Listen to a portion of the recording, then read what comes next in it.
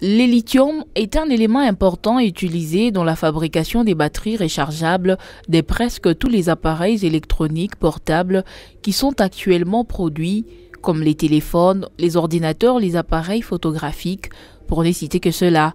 La RDC est aussi dans le processus de construction d'une usine de production de lithium du Tanganyika qui aboutira à la fabrication des batteries électriques.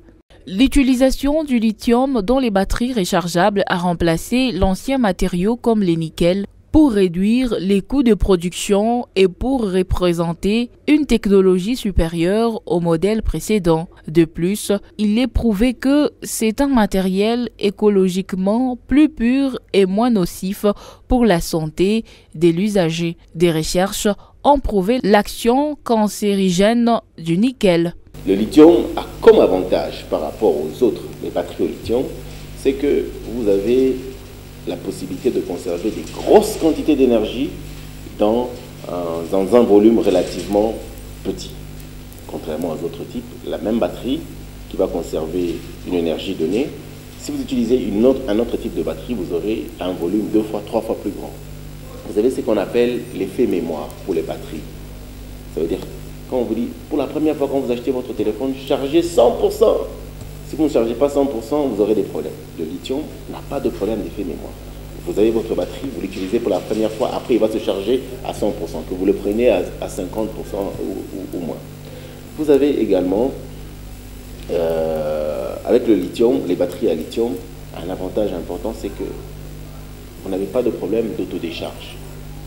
Cependant, la production et l'exploitation des ces minerais en RDC sont confrontées à plusieurs contraintes, notamment la fourniture en eau et en électricité, mais aussi du raffinage, ce qui renvoie à la protection de l'environnement. De manière tout à fait euh, scientifique, l'un des problèmes aussi d'utilisation du lithium, il faut que le lithium soit pur pour avoir les propriétés dont je vous ai parlé tantôt là.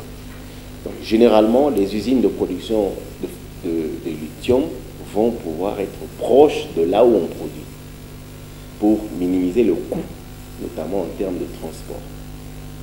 La distance entre euh, Manono et ici, elle est assez grande.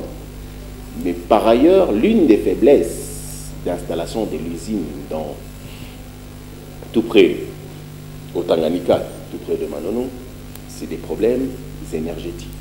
Les usines de production de lithium consomment beaucoup d'énergie.